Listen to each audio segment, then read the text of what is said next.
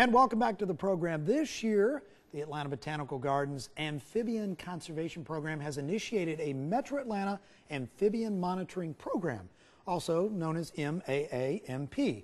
It's in Fulton, DeKalb, Cobb, and Gwinnett counties, and the goal is to better understand the population trends of the 17 species of frog, 14 species of salamander native to Metro Atlanta.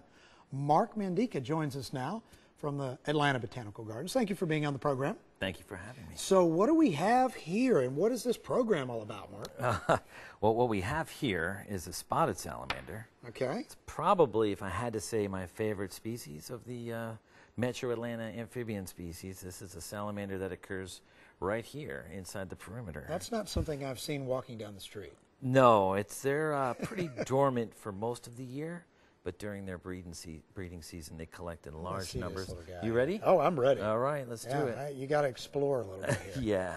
So tell me a little bit about these little guys. I love the spots and how shiny. Look at that. Yeah, they're an incredible species. Oh, he's going to go up my sleeve here. Yeah. Something and new to explore. This oh, a this she. is a she. Yes. Excuse yeah. me, lady. You're a beauty. Um, wow, that is really cool. And so, what? Tell me a little bit about where you find them, um, and what they like to eat and so on and so forth. Yeah, sure. Uh, this species and about a quarter of our Atlanta's uh, amphibian species breed in little puddles. So something you might not even look twice at, a little depression that collects water for hmm. a few weeks or months a year.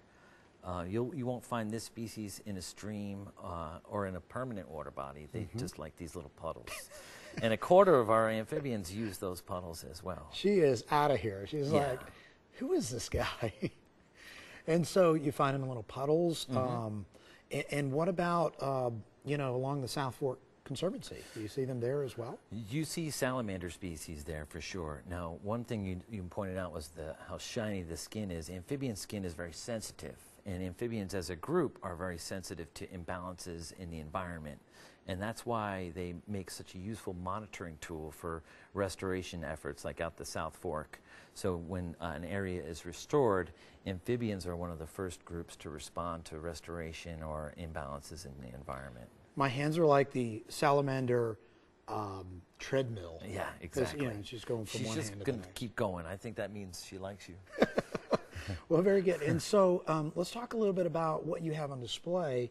I mean, you have several species like on this? display at the garden. Yeah, at the garden. Yeah, we have uh, a pretty large amphibian conservation program there.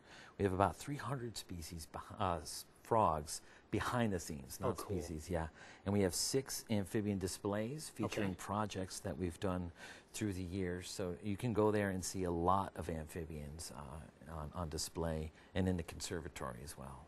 And why are they so important to, you know, our society and this area that we've been talking about, South Fork Conservancy? What makes them so important? They're a group that's often overlooked, but they are very important. Uh, like I said, they respond to imbalances like they're uh, a canary in the coal mine in some ways. Okay. And about 40% of the uh, global amphibian community is in catastrophic decline or already extinct. Mm. That's a huge number, yeah. 40%. So it's we need to be paying attention to what that is telling us. The amphibians are trying to give us a message, and we need to pay attention. About our ecosystem as a whole? About our ecosystem as a whole. And wow. there are many different documented reasons that are causing this amphibian decline, but habitat loss is the number one. So restoration efforts like this uh, South Fork Conservancy are very, very important, especially in an urban setting.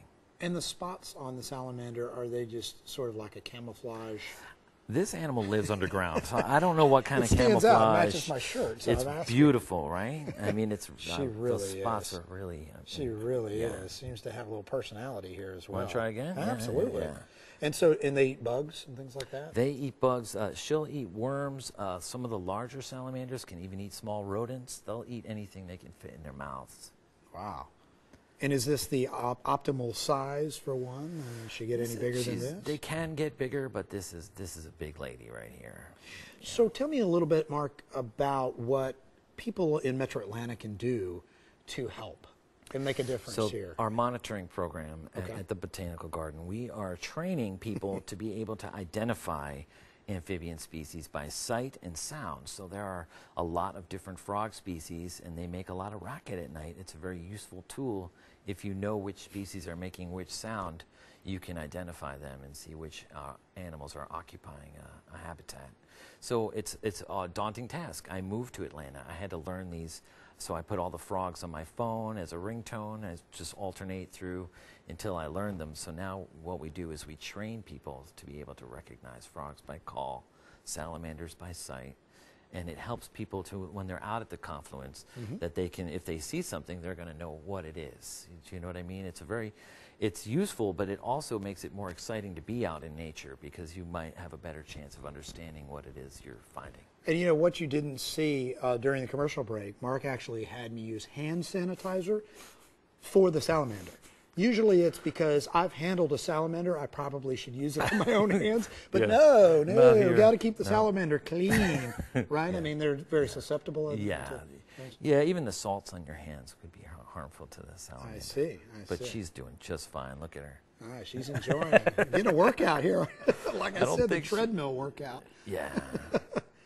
Um, so very good. So people Mm-hmm. can um, reach out. What's the website if they want to learn more about what's being offered at the garden? And You can go directly to the garden's website. We're at the bottom of that website is our frog blog, and you can uh, look up the frog blog or go directly to this program at mamp, M-A-A-M-P dot frogsneedourhelp.org. I just noticed I was looking very tense just a minute ago.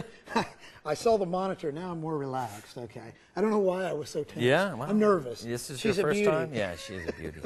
And your email uh, that people, if they have questions, want to volunteer, want to help out. what's- program has its own email, and Okay. that is also is mamp, M-A-A-M-P, at atlantabotanicalgarden.org. Mark Mandica Yeah. and his beauty, Yes. salamander. Do you have a name for her? No, you have any suggestions? Uh, Yellow Daisy? I don't know. Yellow Daisy. All right. All right. Great job. Thanks for being Yeah, on the program. really you. cool stuff. Hey, there are not only amphibians living along the North and South Fork confluence, there are birds too. And coming up, the partnership with the Audubon Society and how you can help out right here on Public Affairs on Peach after the break.